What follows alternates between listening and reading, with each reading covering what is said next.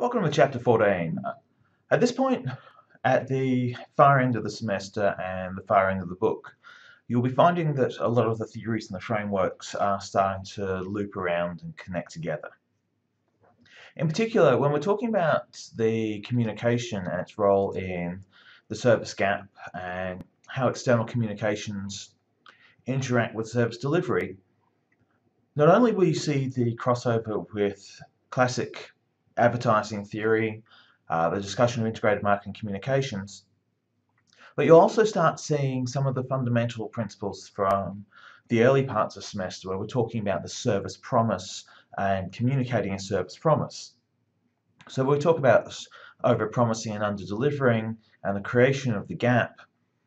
We can see from the diagram that the gap, that the communications goes back to some of the core foundation. So the thing about the GAPS model is this looping mechanism where you can see the interplay that if you close the communications gap or if you modify communications that can open up gaps in expectations and in what the customer will regard as an acceptable minimum service or what the customer will have in terms of zone of tolerance. So the key areas for this chapter that you want to be aware of is the creation of the provider gap really comes down to if your communication isn't cohesive. If you are promising a particular service overtly, so on your advertising you show happy smiling faces, and in reality you're a dentist who specializes in root canal, you're uh, possibly promising what you can't deliver. At the same time, if you have one part of your communication strategy, say for example, your social media is a very friendly, informal, very conversational, communicative type of arrangements. But when people go to the service, they find it to be very uh, formal, very driven by uh, procedure and formality, and not terribly interactive. And then you've got a communication gap. So IMC becomes important. It goes from being a theory we talk about in advertising to being a practice inside services. The other aspect to this that we are looking at is that where we are over-promising or we're not managing customer expectation. And this is where we run into some of the problems in classic advertising theory, the idea of the mere puff where we greatly exaggerate product benefits or we stretch the possibility, we stretch reality. And we do it in a comic manner or we do it in an obviously over the top element as part of our brand positioning to create and communicate a message. But with services, because the advertising message is quite frequently the only engagement people will have, or the only way of measuring the product, then you've got to be careful that you don't overpromise something in a way that you would be able to get away with with a physical product that you could argue it out in a court of law that it wouldn't be reasonably uh, possible for a customer to experience this but all you're doing is creating a sense of disappointment in advance. So what's your overpromising. This is also an area where I find there's a bit of a propensity. Uh, people who aren't fully versed in marketing, people who aren't using the whole of the marketing mix, who aren't thinking about the interplay between product, price, and promotion, tend to come into overpromising, saying, "Oh, you know, promise whatever you like, make you know." Say whatever you need to do to seal the deal, then you know we'll negotiate the customer down later. Like this is a very bad decision. This says that promotion is your primary and that product must fit the promotion rather than product is your primary, the creation of value is your primary, and all of that leads to communication must explain what the product can offer and does offer. Lastly, inappropriate pricing. Uh, this is the interplay. Product gives us what the service is, but price gives us the expectation. So it's entirely possible to have a failure of your integrated marketing communications because your pricing strategy didn't match your communication strategy. So in services, price sits in two parts. It sits in its own domain and it sits under the stable of integrated marketing communications. You have to charge what you are promising to be worth in your IMC. So let's talk about a couple of the factors here. The big one for you to be looking at is obviously the five categories, the strategies to match service promise with delivery. It's going to be a really good way to go and get yourself a nice framework, particularly because you are going to be dealing with the gaps model. Here's a chance to close out the gaps. And as stated, one of the things in this is the IMC. So if you're not comfortable with the concept of integrated marketing communications, you think that the elements should operate more autonomously, this could be a challenge. Or if you're not familiar with the, uh, the breadth of IMC. So that's a set off to the side and do your own readings to pursue. Now let's talk now briefly that in terms of how the services marketing triangle, making its, uh, I think, second or third appearance for the book. The triangle has a couple of important factors that we need to really emphasize here when we're talking about the marketing communication. And one of those things is the internal marketing communications. The company and the provider need to have the clarity of whatever the company is promising the provider has to deliver.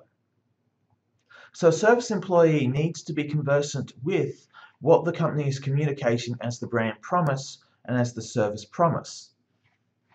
Similarly, the service promise that should be consistent with what we can expect out of our employees. The interactive marketing element amuses me that it's as far back as the 90s they went, well, by interactive we mean interaction and we'll stick with it. So it's the face-to-face, -face, it's the people, it's the personal selling, it's the telephone, it's the internet, it's, all the different component parts. It's basically where providers and customers are going to interact. So if we think about this as a command and control mechanism, the company needs to ensure that when it promises out to the external market that there is a promise that's clearly communicated, when it communicates to its internal markets, it explains what the promises are, and that it listens to its providers to ensure that the providers are sufficiently resourced to deliver. And then, when the providers and the customers are interacting and there's the co-creation, we're still thinking about what is the service promise in the IMC? What does their advertising say about how we will interact? So if our advertising promises that we're going to be a family-friendly company, our interactions, our points of sale, our social media, our servicescape, all family-friendly. If we're going to say that we're an elite pres prestige service, we're probably not even going to have Twitter. We're probably not definitely not going to have Facebook, and we'll probably have some form of policy about handing over your mobile phone upon entering the venue. And there are clubs and organisations that operate on a, a position of when you enter the premise, you have to check in your mobile phone. So you cannot use your phone on the premise. But it positions that as a luxury escape, a luxury exit, to be elsewhere, be disconnected for a period. So there's a very deliberate strategy on that front that the service provider communicates in the external marketing communication, and enables the staff to deliver.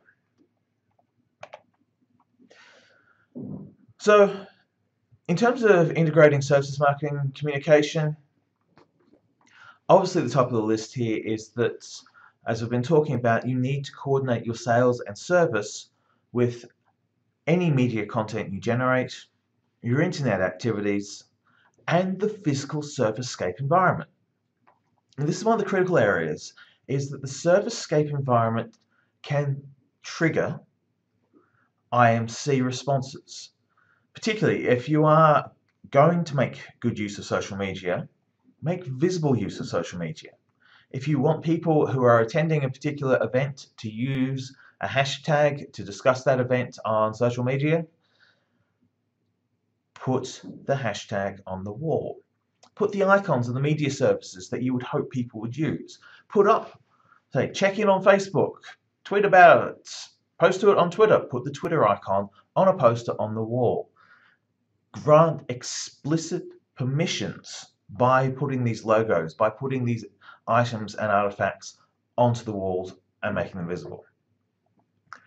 So the other aspect that you want to be thinking about here is in terms of how does the message translate when it's conveyed in print? Is it the same message that you will see? So what type of people are you actually putting in your print photographs? How consistent is the image of the clientele in your print and static media or your advertising against the clientele you have or you want? So all of these are factors to be considering, to be examining how are we making certain the message is consistent and able to be delivered consistently, knowing that consistency is a part of services marketing delivery. So the five major approaches to deal to use in service communication channels. Top of the list things just mentioned is service intangibility. So these are the five. We're going to step through each of them. They are weighted differently in terms of depth and detail. All five play different roles. You may only need one, you may need all five. You shouldn't think of this as a rank ordering, rather than this is a selection. Which is the most appropriate, which is the one you need to use first, or which is the one that will have the greatest capacity to impact on the problem you're trying to solve. What is the next one that would be useful? As always, mm. This is marketing, so look for the interaction, look for the overlay. How do the components interplay? So in terms of dealing with service intangibility, now on the screen is a series of bullet points and details. The text will cover in more depth. Well, a couple of ideas here is that you want to tell a story. Services are about an experience. So the narrative structure, this is where your communications, this is where, frankly, the advent of the internet has made services really interesting as a communications promotions challenge. You can put a GoPro and a head mount or chest mount on a client, walk the client through the service. You can actually do walkthroughs, demos, demonstrations people can see the service in operation. They can't feel the service. It's probably one of the best things that we haven't developed yet, because the last thing you want is to get all the sensory experience of a massage with none of the actual muscular relief. But we can do point of view, we can do first person view, we can do third person view. There is a set of ways to tell the story of the service encounter. You want to make use of the physicality. So one of the things that if you are doing services marketing promotion, use the service environment itself. Go into the service scape. You'll see that McDonald's shows you if they're going to emphasize the drive-through, they will show the drive-through. If they're going to emphasize a happy fun time with families, you will see people in the restaurants. So use the service scape. Get take the opportunity that's presented to show people how to interact in the service scape. Lastly of this list is when you are looking at the way in which, you know, there's a whole series on column two here of riskier than usual performance options. Buzz, viral, word of mouth, be careful. Ultimately, a good service will be something that someone will recommend. But what you don't want to be is the service that people are talking about for all the wrong reasons. And things that you regard as quite reasonable and makes perfect sense for my market will not come across and will not translate well into a series of GIFs on BuzzFeed or a 30 second video that's posted across a dozen different sites or a seven second vine of people misusing your service or misunderstanding your service promise. So be careful on that front. Just you don't necessarily want to be heading down the path of thinking any publicity is good publicity because bad publicity is terrible. Bad publicity lingers, good publicity fades. So any publicity is problematic unless it's good publicity. All right, the second element, for dealing with the service promises, you want a strong service brand. You want a brand that is based both on the communication that you undertake as a services marketer. So these are the deliberate messages, the deliberate communication strategies you build. You sit down and go, okay, this is the logo I want, this is the sort of message I want it to send. But you also create a service brand by delivering on the service. And this is where we talk about the whole idea of service branding. Again, coming back to uh, the work of Berry, so you can see that there are some key influential thinkers in the service domain. Brand awareness and brand meaning are the two component parts that combine into brand equity. Now this is a structural equation model that's visible on screen in front of you so you can see how it looks and how it works. But the three elements that you can control and you can influence. Now I'm going to say there are three controllable elements here, despite what the model says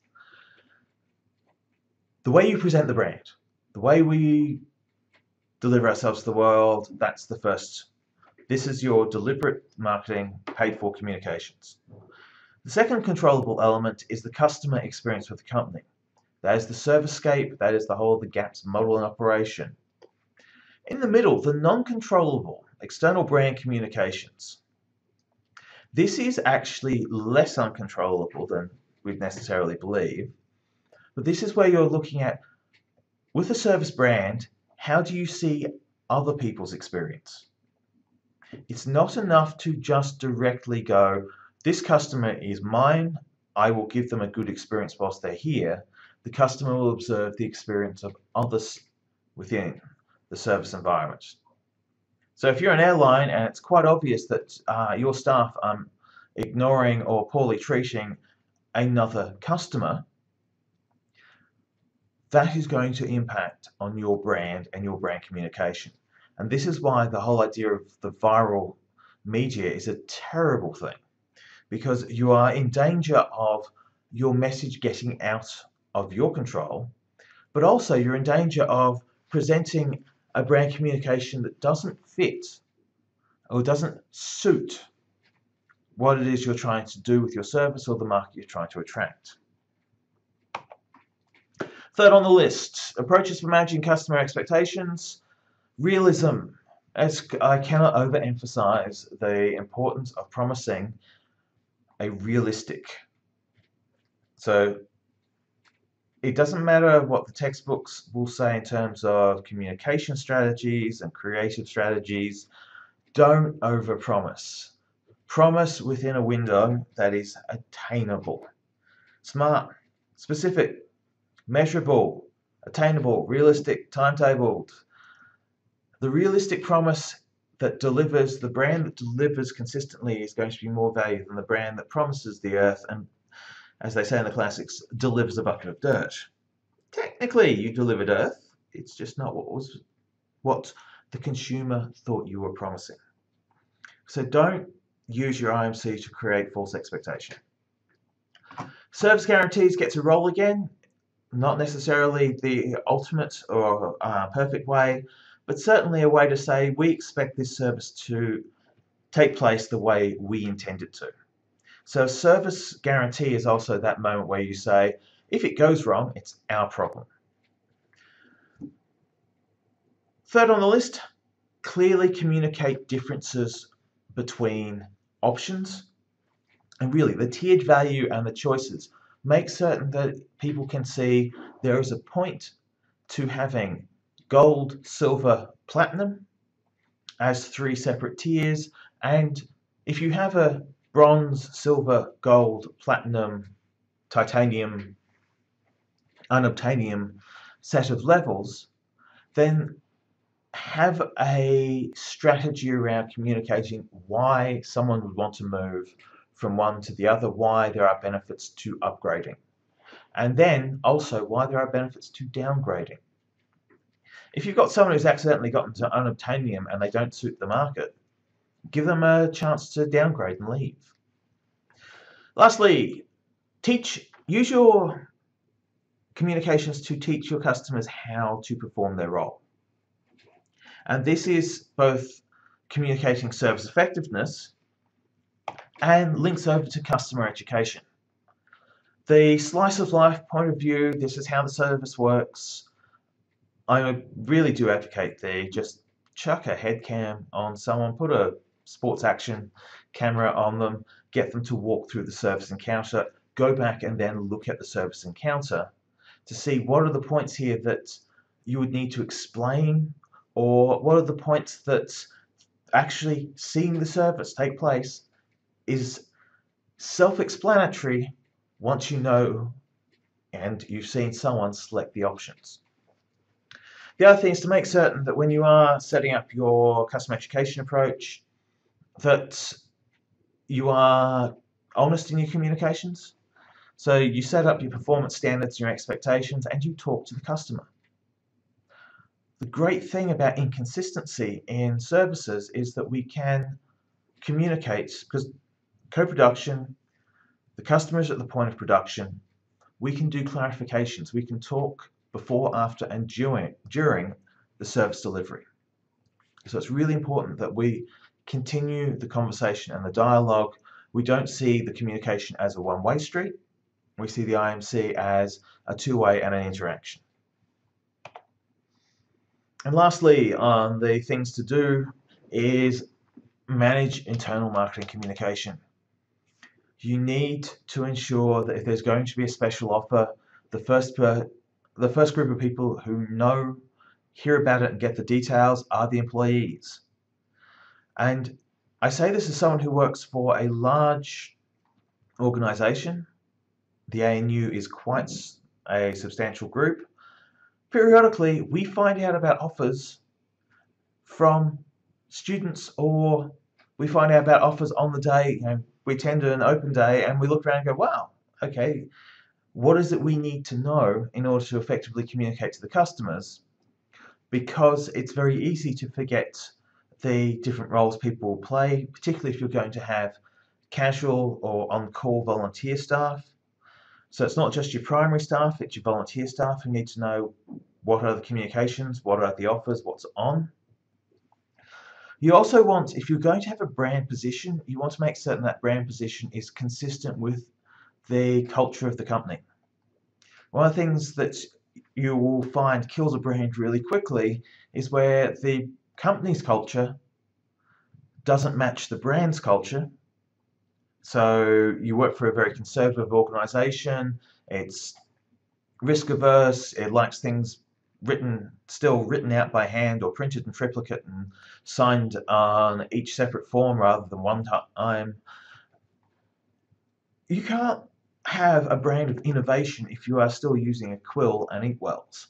You can't have a brand that doesn't fit with the way that the organization works because the discord, the falseness will shine through and it will harm both your communication and the staff morale.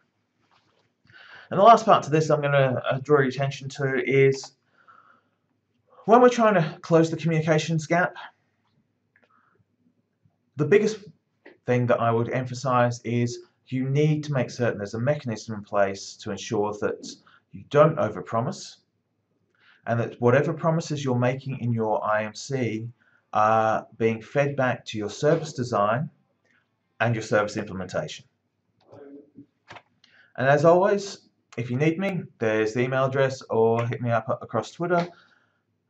This is to the very tail end, very near the end of semester, so if your eyes are on the final exam, this is one of the areas where uh, communications gap does link nicely across the whole of the uh, gap model, so it's an area that you can bring into play in a lot of component parts of answering question about how to use the gap to solve a services marketing practical problem.